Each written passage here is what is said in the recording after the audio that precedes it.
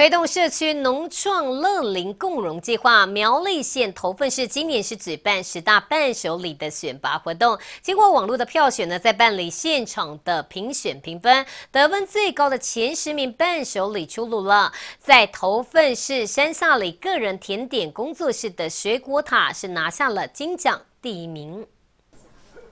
散发新鲜水果香甜气息的水果塔荣登头份市公所十大伴手礼选拔活动第一名，人气最旺。返乡青年杨凯琪以个人工作室创业，用苗栗县新鲜水果做食材，获得好评。我们的品牌经营了四年，那我们都是深耕头份，在头份做网络工作室这样。那我们主要都是做水果塔系列的，就是因为我们自己就是住在这里。所以也希望可以把一些甜点让投份的年轻人呐、家庭啊，他们有一些蜜月需求、生日需求、生日需求，都会有这些我们的甜点可以享用。甜点吸引人，拿下银奖的也是点心，有未来甜疗社区推出的金砖酥，以在地洛神花揉制特色内馅，清甜爽口。另外，河贝庄农园则以有机农业产制的白米、糙米，再搭上长辈手工豆腐乳组成的异度周到礼盒，拿下铜奖。那我们河北有种很多的稻米，那水质也非常的好。那我们就想说，哎，那是不是这稻米可以煮成粥？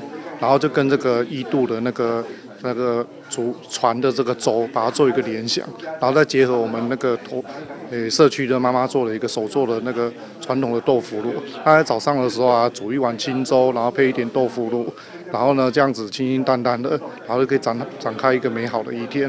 入选伴手礼，展现头份在地创意与文化，透过社区营造，施工所共举办了一百八十场次的工坊活动，鼓励居民规划设计伴手礼品。未来公所将积极宣传，为产业寻找新的机会点，给他们一个十大伴手礼的贴纸，让他们可以贴在他们的礼盒上。